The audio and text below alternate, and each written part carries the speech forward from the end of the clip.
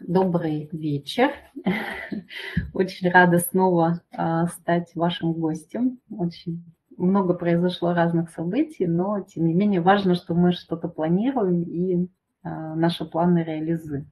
Поэтому большое спасибо, что я снова стала спикером а, немецкого читального зала. И сегодня очень интересная тема. Это о том, как переводить философские тексты. И мы взяли очень известного и значимого философа Иммануила Канта, который писал свои сочинения еще в XVIII веке, но до сих пор остается очень востребованным философом. И, как оказалось, э, не только для философов, да, не только для студентов, которые изучают и сдают философию, но и для переводчиков. И почему это так, вот я сегодня расскажу. То есть я предлагаю, что я сейчас э, расскажу, что приготовила, и потом, если будут какие-то вопросы, мы обсудим. Так, меня слышно, да? Нормально? Слышно, хорошо. А, вообще кто-нибудь читал э, Канта? Есть такие уже? Нет, гости нет. А, и у меня еще тогда вопрос, Елена, а вообще у вас Кант представлен в библиотеке на немецком или нет? Вас э, Да, безусловно, у нас а, вот, есть. как раз за стеной у нас. О, отлично. Э, ага. Собрали все произведения, которые, ну, она не только там, еще здесь находится, то есть угу. мнений, это все и на русском, и на немецком, то есть как раз вот такой параллельный вариант. О, здорово. Угу, да. да. Возможности, в общем-то, и Калининград представлен у нас, фотографии, угу. сделали это здорово, да, что когда есть не немецкий вариант, а русский ну, мы всегда делаем общую, общую подборку, что есть на, на разных языках, и угу. возможность такая была у нас. Да, надо, нужно, да, нужно приехать к вам и сделать такой интеллектуальный эскейп, да, сидеть и читать. всегда в гости. Да, это здорово. А, да, читать, э, то есть Кант, э, все, думаю, знают, э, что это всегда философия, он писал философские тексты, создавал свою философию, да, которая а потом еще долгое время и до сих пор осмысливается, интерпретируется, и а, очень много дебатов проводится о том, что он написал. Переводчики дебатируют о том, как это все переводить, и не только переводчики, но и сами философы, то есть бесконечно уточняют те термины, которые он вводил. И э, вообще философия Канта, она представляет собой сложнейшую систему мысли, которая а, возводится вокруг невероятного количества различных категорий, понятий и терминов.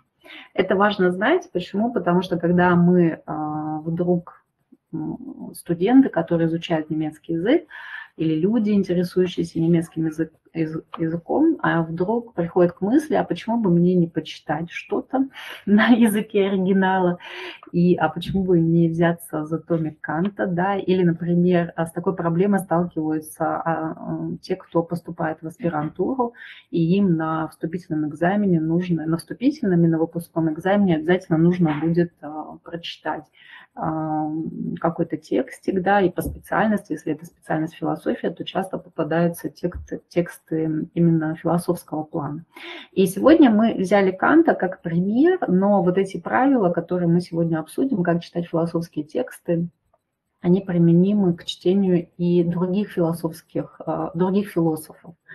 А, но Кант – это такая, такой яркий пример а, сложности прочтения а, текста философского содержания. Ну и поэтому мы его выбрали в заголовок. Это не значит, что другие философы, других философов читать легче, но Кант, на мой взгляд, это номер один по сложности и, по, ну, и в том числе по интересности с точки зрения лингвистического анализа этого текста. А, очень важно понимать, когда мы принимаемся за чтение например, кантовских произведений, обязательно, вот Елена сказала, что есть книги, и обязательно нужно смотреть, в каком году эта книга вышла. То есть мы понимаем, что Иммануил Кант жил в XVIII веке, и когда он создавал свои философские произведения, то эти произведения, они откликались потребностям той эпохи, а, в которую э, эти тексты были написаны, и тем а, проблемам, которые стояли а, перед, тогда, перед тогдашней философской наукой.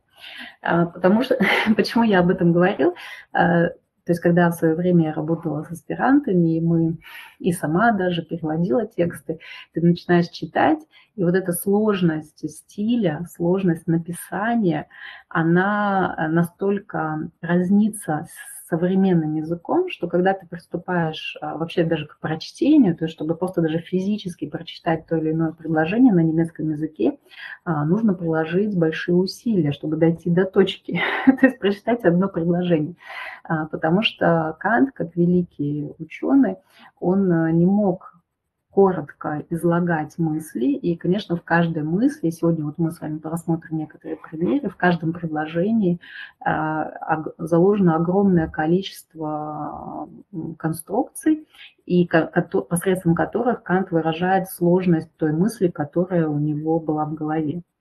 Вот, потому что любые мысли мы все перекладываем на язык, и потом э, эти мысли становятся уже текстами, да, и люди начинают их читать и интерпретировать.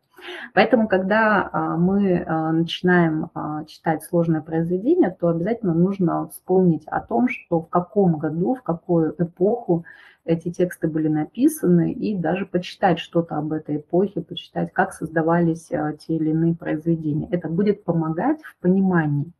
Да, и э, снимать, часто читатель, э, когда начинает читать сложное произведение, он сталкивается с тем, что, особенно если мы читаем на иностранном языке, если мы что-то не понимаем, мы начинаем сомневаться в себе, в своих знаниях, но когда мы будем с вами читать Канта в оригинале, не сомневайтесь, это будет в любом случае сложно, как человеку, который а, ну, совсем недавно начал изучать язык и вдруг захотел познакомиться с творениями великого философа, так и для выпускника лингвистического вуза, и для переводчика. Даже а, чтобы а, перевести философские произведения, нужно действительно быть очень высококвалифицированным переводчиком, и не только переводчиком, да, то есть не только знать, как язык функционирует как система, но и что-то еще понимать в философии потому что, а, например, уточнение, как я уже сказала, уточнение многих понятий, которые Кант вводил и которые а,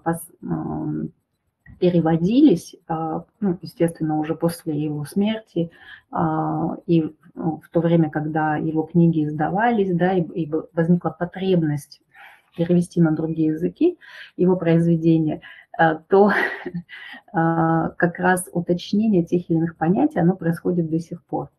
А, есть некоторые редакции. Написаны, вот когда я готовилась тоже к лекции, я нашла несколько диссертаций только в России, которые были из статей очень интересных, посвященных уточнению перевода тех или иных терминов то есть где прямо идет э, очень большой э, анализ, как переводились э, важные философские понятия а, в XIX веке, в XX веке, да, и все-таки как стоит их сейчас переводить а, с точки зрения современной философской науки. Поэтому, когда мы с вами захотим прочитать оригинал, оригинальное произведение, то я думаю, что вот это знание, что переводить, писать эти тексты философские, я думаю, что Иммануилу Канту было сплошное удовольствие, потому что это была его любимая э, деятельность. Но я думаю, это тоже было очень непросто, да, именно в слово, при помощи слова а, свои мысли оформить. А, а потом эти тексты интерпретировать, понимать, это тоже непросто, это тоже большой труд читать тексты Канта как на русском языке уже в готовом переводе, так, естественно, на языке оригинала. А переводить – это еще большая, э, большая сложность. А, но, тем не менее, да, у нас есть великие произведения, и мы хотим их прочитать, их хотим перевести. И вот относительно философских текстов, это очень любопытно, а, возникло понятие, такое понятие, как квалифицированный читатель. То есть, естественно, есть и квалифицированный переводчик, то есть, но ну, не только с точки зрения, что у этого переводчика есть диплом, да, но и с точки зрения того, что, например, если мы сейчас про переводчика говорим, что этот переводчик, он способен перевести кантовский текст в соответствии с кантовской терминологией, то есть той терминологией, которую он а, вводил. И, естественно, когда мы переводим текст, то мы должны владеть а, пониманием вообще, что такое кантовская философия, в чем она заключается, чтобы а, перевод не противоречил самой идеологии, самой философии автора. Вот. И есть такое понятие замечательное квалифицированный читатель, то есть когда читатель способен понять то, что замыслил великий ученый. И, конечно же, ты становишься квалифицированным читателем, например, таких сложных текстов, которые создал Иммануил Кант а, в процессе, то есть нету готовых квалифицированных читателей. Есть э, люди с философским образованием, я думаю, им легче э, читать в силу своей начитанности и в силу понимания, как функционирует философия как и наука, но а, если мы интересуемся с вами философскими текстами, если нам вообще интересна философия как предмет, то а, вас не должна страшить а, будет именно сложность этих текстов. То есть постепенно, шаг за шагом, мы становимся квалифицированными читателями такого сложного направления, как философские тексты, в том числе, если мы вдруг начинаем с вами читать на языке оригинала. А, вот. И э, очень любопытно, что когда, а, когда появились первые переводы, а первые переводы философских текстов Канта появились уже а, во второй половине XIX века, то есть когда произведения Канта нашли очень большой отклик в России, и стали переводиться тексты, определенные а, ученые а, приезжали в Германию, учились у, у последователей Канта. И вот это все позволило тому, что наследие Канта, оно прижилось в России и стало развиваться. И а, довольно качество переводов которые появились а, во второй половине XIX века, до сих пор считается очень э, хорошим, считается образцовым. Поэтому, когда вы будете смотреть а, даты переводов, ориентируйтесь на это, потому что это как раз, во-первых, похоже, ну, то есть это еще не так много времени прошло после того, как тексты были написаны, и, конечно же, тот дух, который витал, вокруг а, тех произведений, тех идей, которые были а, написаны Кантом, он в том числе также откликался и в понимании а, тех терминов, которые в итоге переводились на русский язык. И очень интересное открытие сделали переводчики, которые занимались переводом произведений, что русский язык это был тоже один из первых опытов перевода сложных текстов на русский язык, что русский язык, а, мы знаем, что русский язык обладает невероятной пластичностью, красотой а, в художественных произведениях, но и работать с философскими текстами, как по мнению и вот потому, что а, оставили в предисловиях переводчики того периода, было очень комфортно, что русский язык, он также обладает определенной философичностью и позволяет очень сложные понятия подобрать к ним Э, точные э, термины, которые позволяют передать идеи Канта. Потому что мы знаем, что при переводе э, любых текстов всегда возникает у переводчика, с одной стороны, соблазн интерпретации текста, да, а с другой стороны, может, если переводчик не совсем как бы понимает, о чем произведение, да, если у него не откликается это в душе, если он а, а, именно э, просто переводчик, но не совсем понимает профессиональный контекст, то тогда часть содержания может быть э, потеряна. И, конечно же, тогда а, сложно говорить о том, что этот перевод является качественным а, для, а, ну, для каких-то для последующих специальных целей, то есть, например, для ученых и так далее. Поэтому, когда вы смотрите переводы таких сложных текстов, обязательно смотрите, кто переводил, какая-то редакция, да, и вот то, что касается Канта, то во многих а, статьях отмечается, что качество переводов именно XIX века, которые были сделаны в XIX веке, они очень хорошие. А, позже Канта переводили не так часто в силу определенного отношения к нему, но, тем не менее, есть также очень хорошие переводы, сделанные в советское время и уже в 90-е годы. И здесь есть очень такой интересный момент – то есть, и почему я подробно об этом говорю, потом а, сейчас в конце скажу об этом, а, что а, каждый перевод, именно профессиональный, глубокий, на который переводчики потратили много времени с, с научной редакцией, то есть когда переводчик консультируется с, со специалистами, да, то э, каждый, переводчик, каждый перевод – это некое а, это понимание кантовского наследия а, именно к тому моменту, когда перевод делался. Это очень любопытно. То есть это не значит, что, например, если перевод сделан там 60-е годы, либо в 90-е годы, он будет там значительно хуже. Нет, ни в коем случае. Но а, любопытно сравнить, как переводили Канта в те или иные года, именно с точки зрения понимания а, в контексте того времени, когда перевод делался. И вот это а, очень а, любопытная история, но она, конечно же, интересна будет тем, кто любит а, вот такие вопросы перевода. Но и также вам, если вы затеяли историю с прочтением Канта в оригинале, то, конечно же, вы можете также обращать внимание, в какие года это произведение было переведено, кем это было переведено, и обращать на это внимание, и как бы делать себе пометку, если вы будете читать это именно на русском языке, что а вот перевод, сделанный, например, в конце XIX века, он соответствует пониманию а, переводчика а, кантовского текста именно а, в контексте того времени, когда перевод был сделан. И, конечно же, это такое прекраснейшее историческое погружение в ту эпоху, когда сначала был написан текст Канта, а потом еще переведен, и как люди в то время понимали такие сложные понятия, которые вводил Кант в, свои философ, в своих философских текстах. А, Еще одна сложность перевода, с которой сталкиваются как читатели, так и специалисты, она заключается в том, что когда Кант писал свои тексты в XVIII веке, то как такового философского языка с понятийным аппаратом на, немецком языке не существовало. Он только становился, он был в фазе становления.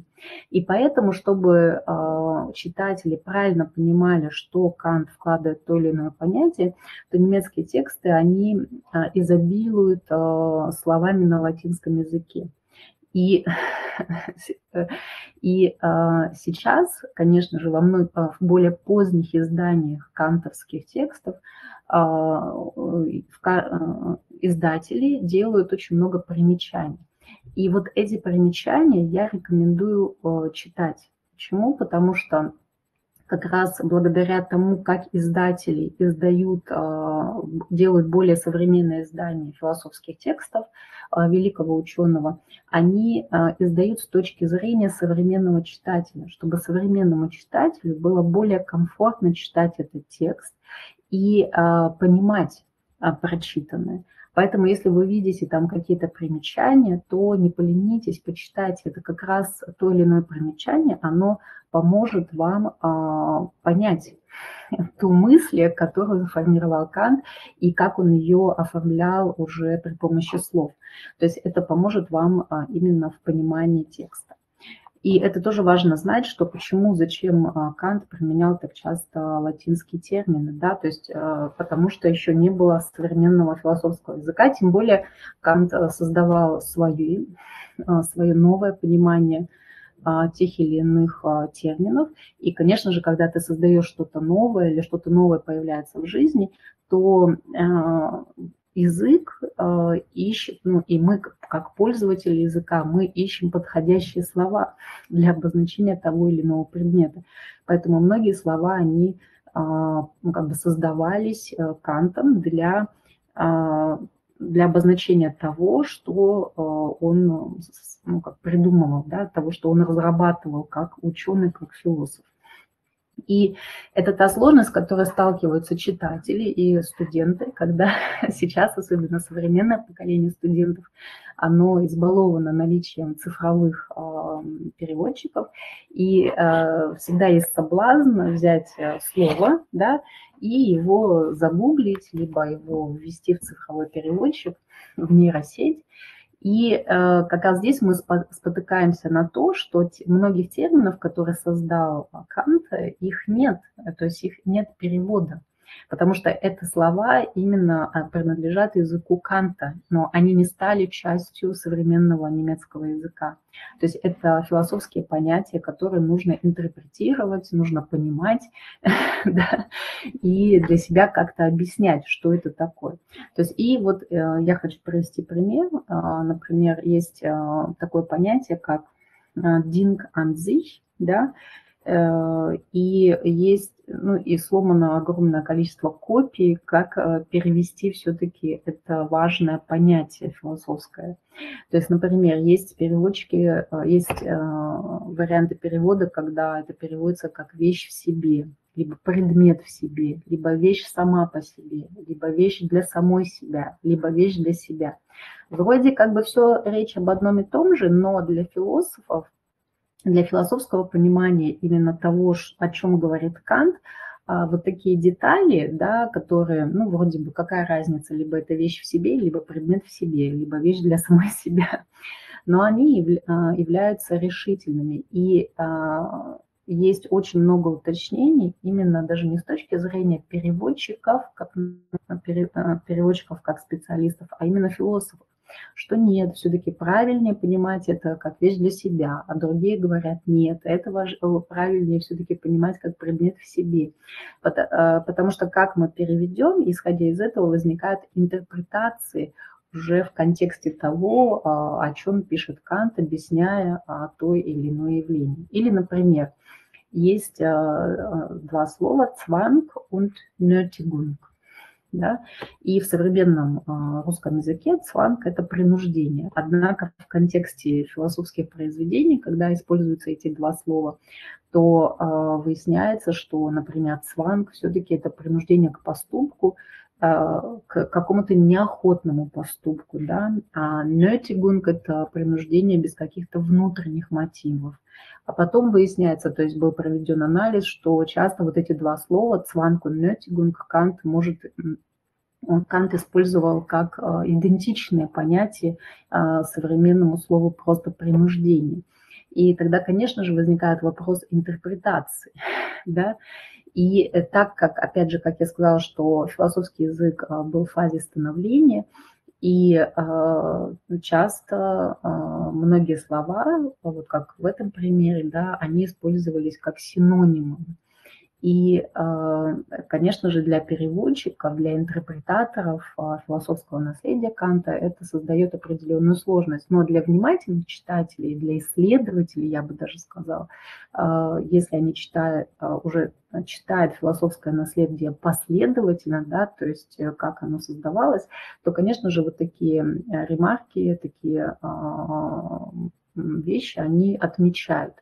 И для нас, для тех, кто так скажем, неквалифицированных читателей, но для тех, кто хотел бы попробовать свои силы и свои знания в чтении Канта, а, это тоже важно понимать а, и не фрустрироваться, да, то есть не бояться того, что а, ой, я вот, ну, например, там выписал два слова, цванку, нётигунги, современный словарь мне дает это как одно слово принуждение.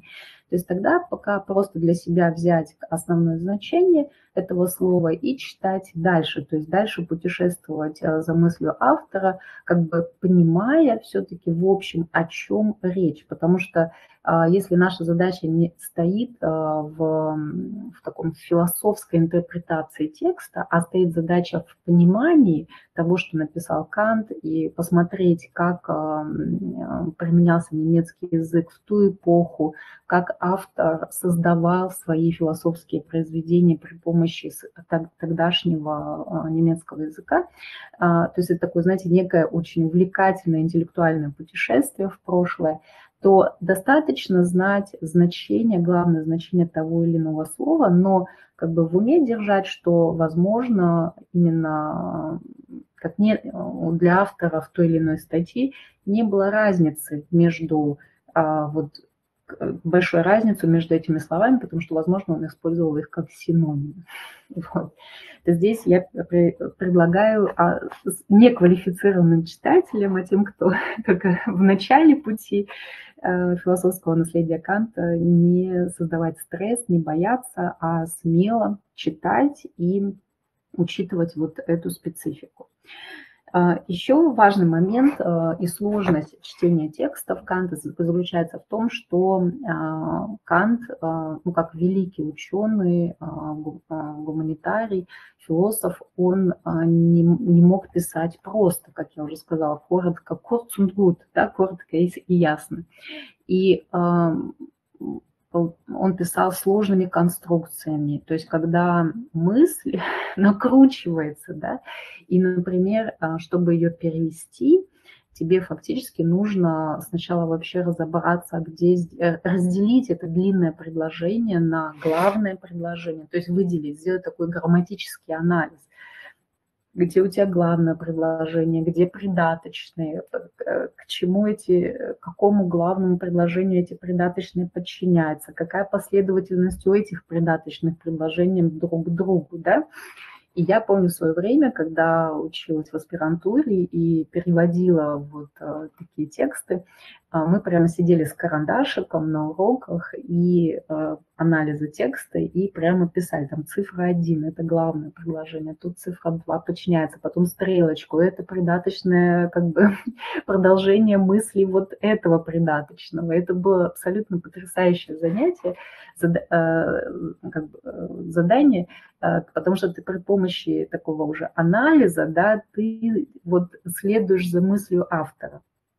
А, а у него это было в голове, он это писал, да, от руки, то, что тогда же не было никаких печатных устройств, и это невероятно. То есть, конечно же, это может, наверное, с точки зрения современного а, процесса чтения, это может показаться очень затратным, очень нудным. Вот сиди, сиди разбирай, что он там напридумывал, да.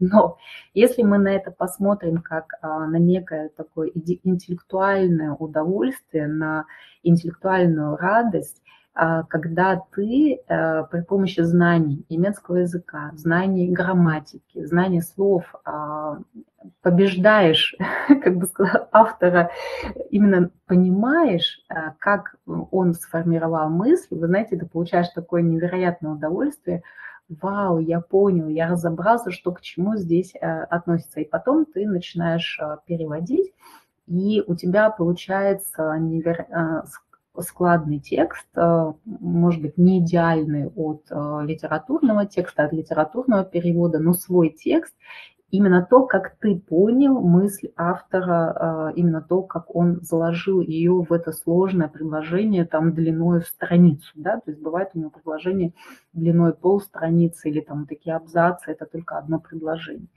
И вот э, это невероятная интеллектуальная радость, э, знаете, так расшифровать то, что было зашифровано в философский язык, ну, философским немецким языком XVIII э, века. Поэтому, когда мы читаем э, философские тексты, это самое главное, не нужно быть строгим к самому себе а, с точки зрения, что нужно понять абсолютно все, да, все-таки философия – это э, наука, когда мы интерпретируем мысли автора – А с другой стороны, эм, это мысль, которая складывается из другой мысли, да, и потом рождается некая еще третья или четвертая мысль. И таким образом собирается некий а, философский такой а, взгляд на то или иное явление, которое автор а, формирует и уже облекает в слова и буквы. Э, поэтому э, здесь важно, когда мы читаем философские тексты, э, запастись временем, запастись терпением и посмотреть, если мы читаем на языке оригинала, посмотреть на то, что написано автором, также с точки зрения разбора того или иного предложения, да, а, чтобы, чтобы ну, хотя бы начать, чтобы приступить к тому, чтобы начать переводить. Вот. Потому что переводить мы можем только тогда, когда мы разобрались, а где у нас главное предложение, а где, э, где придаточное предложение, а в этом главном предложении где подлежащее, где сказуемое. Зачем это нужно делать? А, чтобы как раз не а, потерять мысль, потому что когда ты начинаешь, то есть иногда я замечаю, что студенты начинают переводить сплошняком. То есть все слова сплошняком перевели, и потом говорят, ну что за апаракадабра, что вообще за ерунда, что он тут насочинял. И я говорю, стоп, давайте, вот мы, набор, мы все слова перевели, а теперь мы будем их согласовывать, подлежащее за сказуемое. А, главное предложение с придаточным, это придаточное с тем придаточным, да, и вот когда мы находим логику, да, через грамматическую структуру, потому что для нас немецкий язык – это иностранный язык, и, конечно, мы изучаем иностранный язык всегда через структуру, через понимание, через правила, через понимание, как язык а, функционирует. И вот когда мы э, расшифровываем да, грамматический код философской, великой философской мысли Иммануила Канта, то это нам помогает э, как раз проследить за тем, как же формировалась мысль в уме великого ученого. И тогда мы делаем вывод, вау, да тут такая кладезь мудрости заложена, хотя в начале, когда мы все это сплошняком перевели, казалось, это какая-то, ну, набор слов, и, и все, и ты не можешь понять, понять, что же было сказано. Еще одна сложность, с которой сталкиваются э, читатели, э, непрофессиональные переводчики, непрофессиональные философы э, при прочтении текстов Канта с тем, что многие слова уже устарели, либо те слова, или эти слова сейчас относятся словарями к такому возвышенному стилю да, то есть это слова, которые очень редко используются, это письменный язык, это а, устаревший язык, и даже некоторые современные словари уже эти слова не фиксируют. И поэтому важно также найти хороший словарь. Вот в немецком а, читальном зале есть замечательные словари, и где маркируются слова с частота, с частотой применения, а, стилистическими какими-то пометками, они тоже очень важны. А, но когда нет времени идти а, в библиотеку, или, например, у нас в Иркутске нет такой замечательной библиотеки, то можно всегда воспользоваться онлайн-ресурсом. Есть очень хороший онлайн-ресурс duden.de, и есть словари Дуден в печатной форме, и там всегда можно найти даже устаревшие слова, которые э, переводятся, либо дается понимание, как эти слова можно на, современном языке уже перевести. Поэтому не пугайтесь стар, старых забытых слов, также воспримите это как а, путешествие в прошлое немецкого языка и посмотрите, как раньше люди высказывались. То есть когда мы читаем русские тексты 18-19 века, это тоже не современный русский язык, но это всегда такое потрясающее путешествие в прошлое, как люди люди говорили, как они изъяснялись, какие формы грамматические они использовали, чтобы оформить свою мысль. Это тоже э, учит нас о том, как, э, что же было раньше, да, э, и мы очень начинаем многое понимать с точки зрения э, современного языка. Вот, э, например, есть такой термин, как глюк зелихкайт. И вот э, этот термин э, в переводах XIX э, века, это термин, введенный Кантом, это слово переводилось как блаженство в его философских текстах, когда он применял это слово. Хотя само слово состоит из слова «глюк» – счастье и «залегкает» как высшее счастье, блаженство. И в то время это слово провели, перевели как блаженство, потому что именно в то время оно означало сочетание этих слов как высшее, некое высшее счастье и в то время оно так и понималось. Однако, например, уже современные переводчики а, отмечают, что современный русский язык уже не отражает а, то понятие, которое было, то есть ту мысль, которую заложил Кант в это слово. То есть когда мы на, в современном русском языке переводим как блаженство. Да? И это означает о том, что э, вот перевод э, этого слова, да, он должен быть уточнен. Вот, поэтому, когда, например, вы сталкиваетесь с такими словами, то посмотреть, э, попробуйте вот это длинное слово, то есть если вы, например, перевели «глюк залегка», то, например, вам словарь дал блаженство, но вы прочитали предложение, и у нас уже современное слово, понимание слова блаженство – можно посмотреть, а как блаженство понималось, например, а, в XIX веке, когда переводилось это слово. То есть на тот момент, когда а, был сделан перевод, если вы пользуетесь а, переводом, например, читаете используете перевод того или иного слова в той эпохе. То есть вот как в ту эпоху понималось слово блаженство. Посмотрите его интерпретацию э, на русском языке. И это тоже может дать ключ к пониманию того, что закладывал Кант в то или иное понятие. Потому что современное понимание слова блаженство, оно может отличаться от того понимания, которое закладывалось в XVIII веке, да, например. И, конечно же, э, это нам не поможет в понимании великой мысли.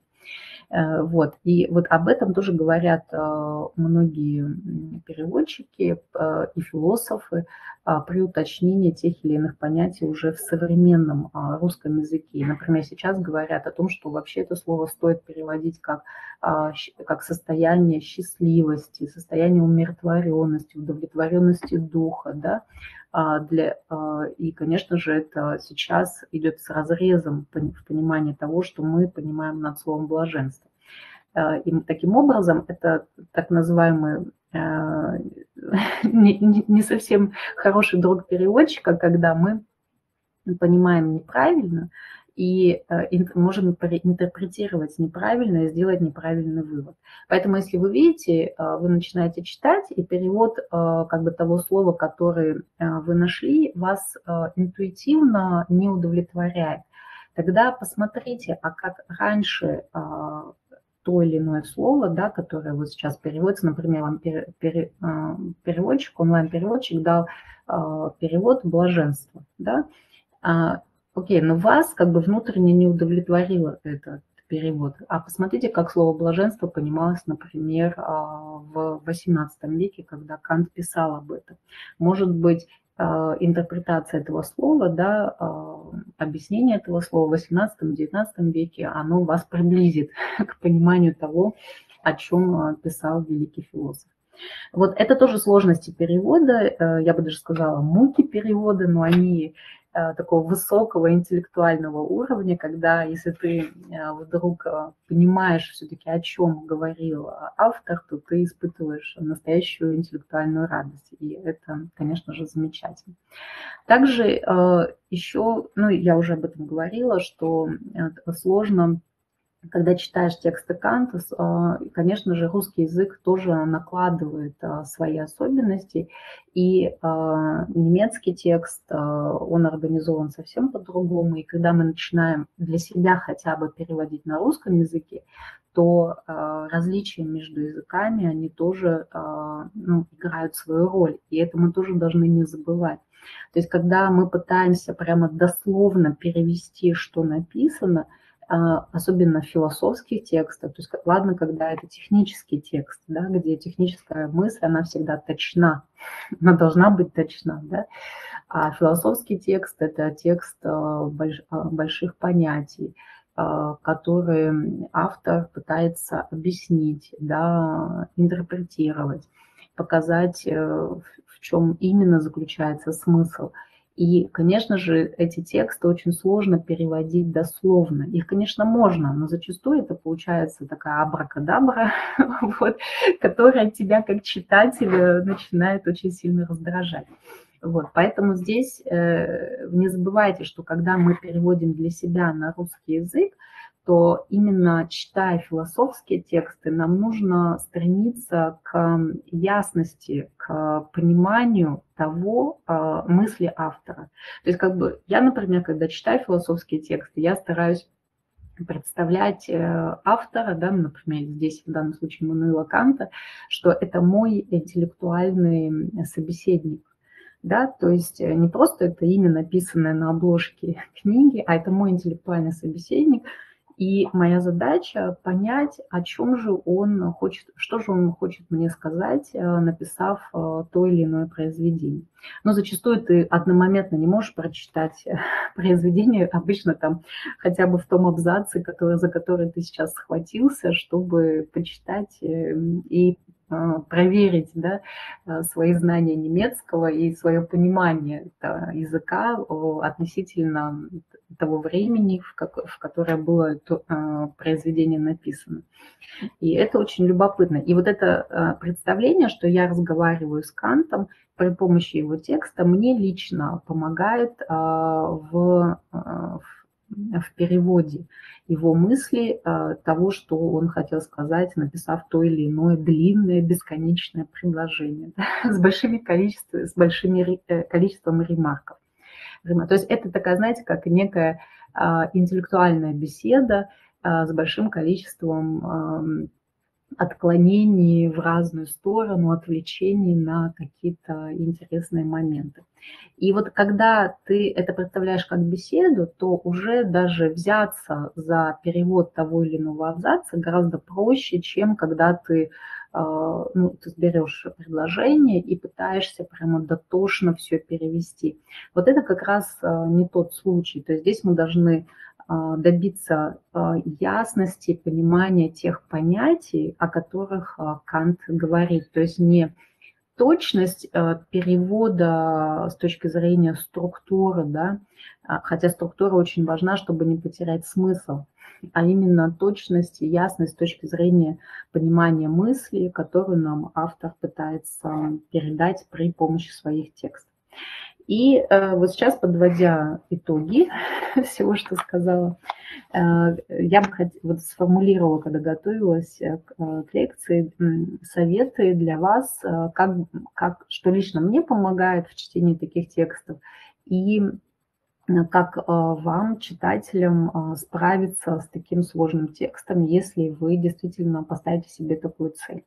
Ну, во-первых, выделять время, не торопиться, да, и не стремиться сразу же там поставить себе план, так за неделю прочитаю одну книжку Канта.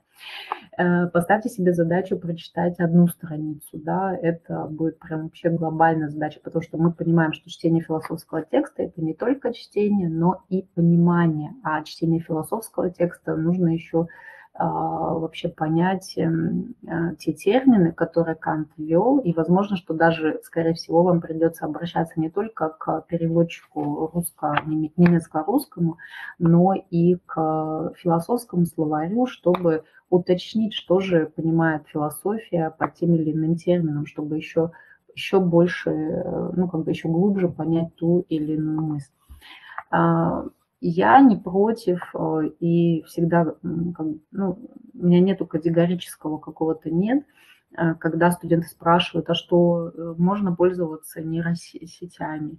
А, нейросетями пользоваться можно, и я даже рекомендую, например, брать абзац кантовского текста и в разных нейросетях, либо электронных переводчиков их вставлять и смотреть, как те или иные э, нейросети и переводчики справляются.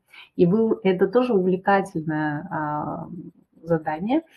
Вы увидите, как разнится перевод, как интеллект, искусственный интеллект э, понимает глубину мысли Канта. А потом, например, можете взять томик э, в хорошем переводе Канта на русском языке и посмотреть, как ученые переводчики вместе с учеными перевели а, то или иное произведение. И это будет любопытно а, посмотреть, где теряется глубина мысли, кто лучше справился, да, и, конечно же, потом еще и самому попробовать перевести. То есть я, например, студентам иногда даю такое задание, что все, мы сейчас становимся с вами переводчиками Канта, и каждый для себя делает свой перевод. Вы тоже можете завести такой файлик на компьютере, либо тетрадочку, и лично для себя переводить то, что вы читаете. Это потрясающее задание, оно а, помогает а, в том числе ну, улучшить свои знания языка, посмотреть историю языка, то есть как те или иные термины понимались в то время, как, какие конструкции грамматические применялись в то время, как, а, каким был письменный язык. Это, конечно же, не, я не скажу, что это поможет вам в освоении современного немецкого языка, но э, сделать свои знания более объемными, более красивыми, э, интеллектуальными, это сто процентов вот такое чтение, оно вам поможет. И возможно, что в беседе с носителями языка вы потом сможете блеснуть своими знаниями э, и пониманием философского текста великого философа. Дальше, поэтому нейросети пользуйтесь, но не, не доверяйте им на 100%. Все-таки а, перепроверяйте с русскими переводами а, специалистов. Дальше, а, то есть время, электронными переводчиками можно пользоваться. Обязательно читайте примечания, я уже говорила, да, то есть примечания – это не просто какие-то нудные ссылки, а это как раз забота издателя, который издавал э, текст на немецком языке, о вас, о читателе, чтобы вам было проще в современной реальности понимать э, мысли автора. Дальше, а, не забывайте делать грамматический анализ, то есть не читайте сплошняком текст, а все-таки сначала разберитесь, где у вас подлежащее, где сказуемое, где главное, где придаточное предложение, потому что это поможет вам следовать за мыслью автора. То есть вместе берете Канта за руку, да, и следуете с ним вместе за мысли, э, потому что он вас там будет кружить э, всевозможными своими интеллектуальными а, изысками своей э, мысли.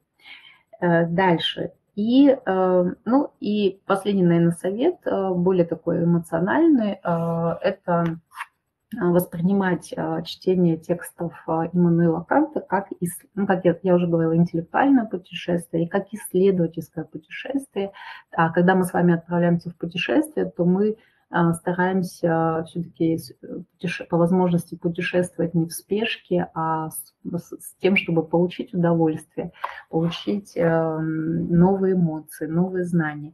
И тогда э, у вас не будет вот этого стресса, да, там всего одна книга в неделю, а вы будете потихоньку для себя открывать э, Канта, открывать его философские знания, его философские тексты и что-то для себя находить лично в том, что он написал, и то, что не дает а, покоя а, философам современности и уже на протяжении фактически двух, а, ну, нескольких столетий, да, люди, э, специалисты, философы интерпретируют его тексты, и не только философы, но и политики э, спорят э, о том, о чем же действительно говорил Кант в своих сочинениях. И вот сейчас как пример хочу вам прочитать его пару мыслей например, и как раз показать э, трудности перевода, но те трудности, которые мы можем с вами осилить. Äh, zwei Dinge erfüllen das Gemüt äh, mit immer neuer und zunehmenden Bewunderung und Ehrfurcht, äh, je öfter und anhaltender sich das Nachdenken damit beschäftigt. Der besternte Himmel über mir und das moralische Gesetz in mir. Вот такая мысль, очень наполненная. И, например, а, мы спотыкаемся о первое слово, это zwei Dinge erfüllen, то есть две вещи наполняют das Gemüt. И мы смотрим, что а, слово das Gemüt – это ум, ум, да, то есть это то слово, которое уже сейчас, оно не используется в современном немецком языке.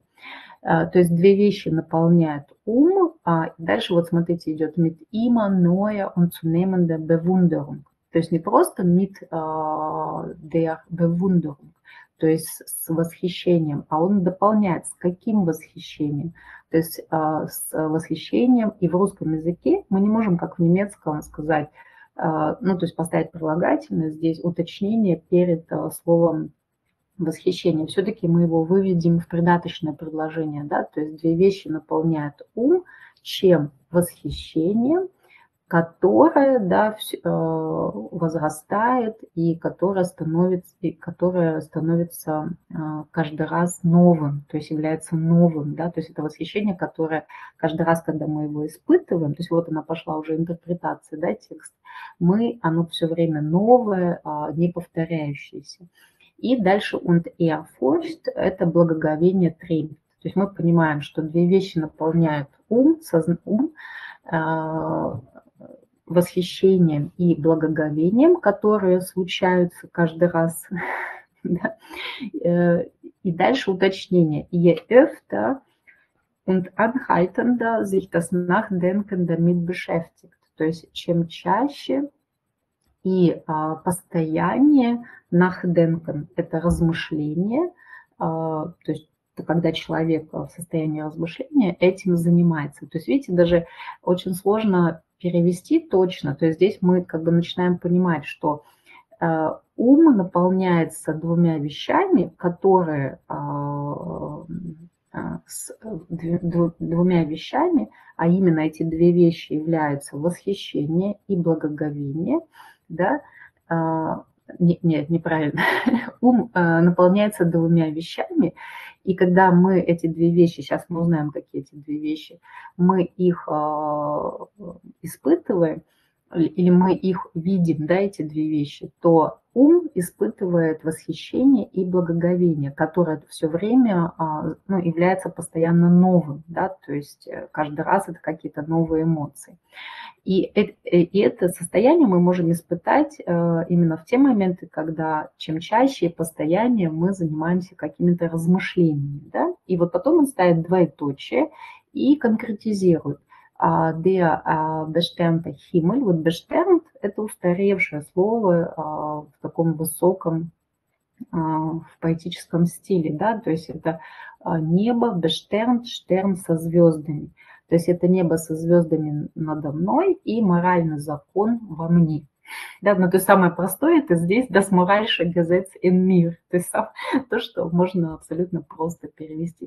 То есть видите, получается, что э, окей, ты должен когда сначала прочитать это предложение, потом посмотреть, какие слова а, новые, какие устаревшие, да, а, какие тебе помогают быстро понять, а потом еще понять с точки зрения содержания. Так все-таки, когда эти две вещи, они наполняют, то есть а, звездное небо и моральный закон, звездное небо надо мной и моральный закон во мне, все-таки когда они а, наполняют ум да, восхищением и благоговением. То есть и тогда мы делаем вывод, что а, мы, то есть на современный русский язык мы можем для себя это перевести как что каждый раз, э, что небо со звездами надо мной и моральный закон во мне, они как раз это те вещи, которые наполняют э, мой ум, но опять же при условии, если мы а, постоянно занимаемся размышлениями. То есть не просто, что мы вышли, посмотрели на звезды, и сразу же наш ум а, восхитился. То есть нам нужно заниматься размышлением. То есть и вот это как раз такой момент, когда ты прочитал, понял, а потом ты, э, знаете, впадаешь в следующую фазу, э, как бы условно перевода, ты начинаешь размышлять. Ага, ну как бы применять это к самому себе. Так, окей, интересно, а как же это все-таки понять, например, не только в глобальном философском контексте, да, а относительно вот себя, относительно своей жизни. Это действительно так? Или это может быть по-другому? А в моей жизни такое бывает? И вот, знаете, возникает такой некий э, диалог с Кантом. Э, ага, да, вот любопытно, да, то есть Мануил Кант сформулировал мысль, ну, конечно, он сформулировал ее как великий философ, его очень глобально, но он же сформулировал ее а, в том числе для прочтения а, нам, чтобы мы, как читатели, прочитали. И вот тогда, то есть это то, что также студенты, ну не только студенты, тут что я прям на них грешу сегодня, читатели упускают, когда читают сложные тексты. То есть как бы у нас считается, что, о, я прочитаю текст, переведу, да, испытаю муки перевода, но вступите в диалог с автором через понимание вот этой мысли, великой мысли, сложной мысли, глубокой мысли относительно себя и своей жизни.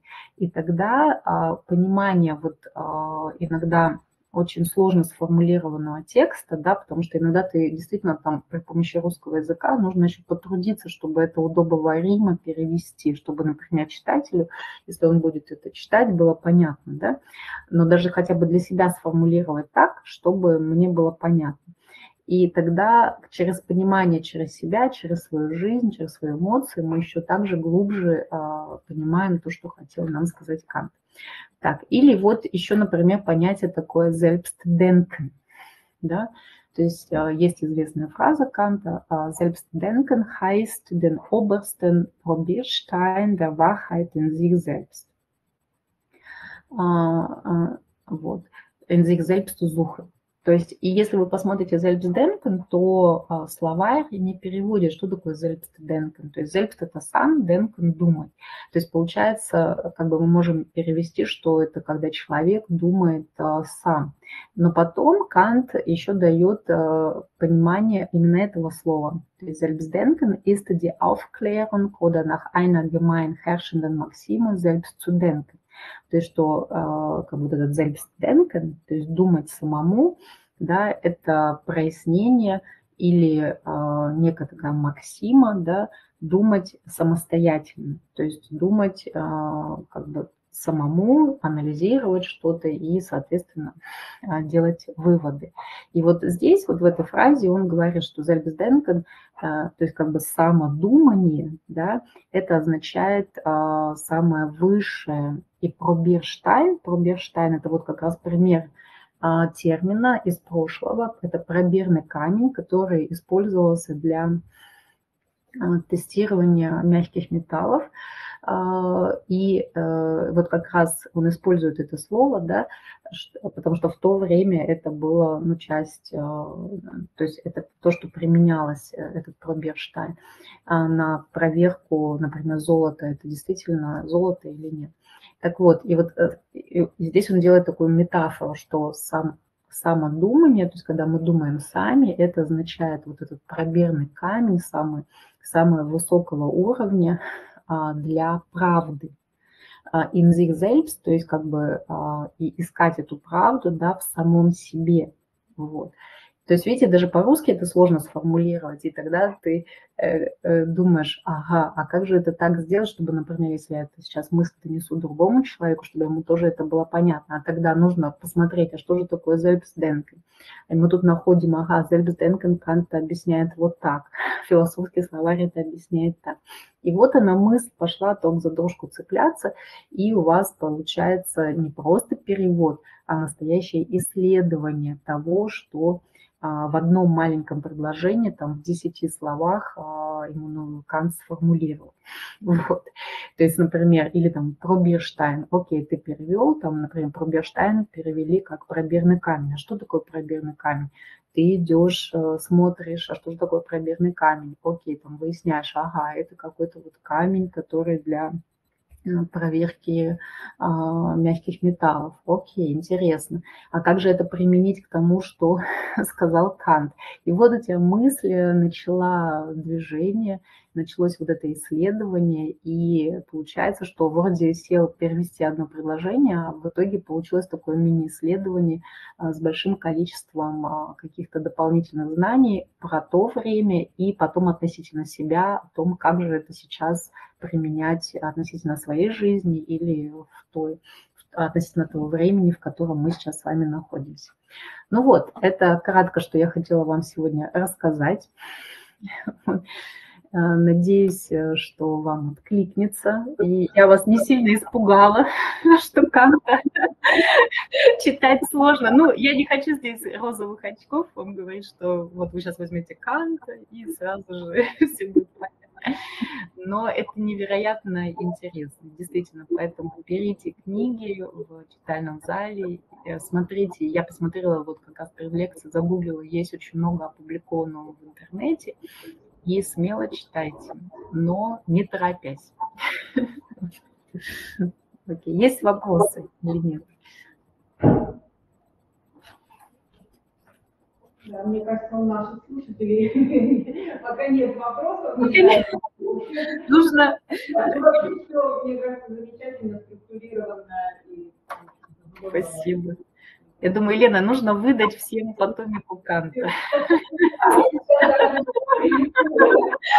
Домашним заданием. Знаете, восхищаю. Они такие есть золотые. А при этом, Вау. Огромный, говорите. Это точно золото, золото, золотые мысли. Золотые. В отделе цены редкие книги у нас есть тоже 17-19 века, ну, как бы мы не можем их так доступе, там читали в зале, поэтому я не стала сюда принести. Ну, как бы вот действительно очень фундаментальные, монументальные такие книги, конечно. Здорово у меня будет возможность в мае поехать в Калининград и непосредственно прикоснуться к городу, где жил Федоров, поэтому, конечно, я. Да. Все совпало, и лекция, и, путешествие. Спасибо, спасибо, большое. Огромное. Да, хорошо. Но если будут какие-то вопросы, пишите. Будем ну, вместе искать. Да. Ладно. Хорошо, спасибо. Да. Хорошо. Да, спасибо. Огромное спасибо. Да, спасибо. Да. Да, обязательно. Да, всем спасибо. Да, все. До новых встреч. До новых встреч. Спасибо. Да, до свидания.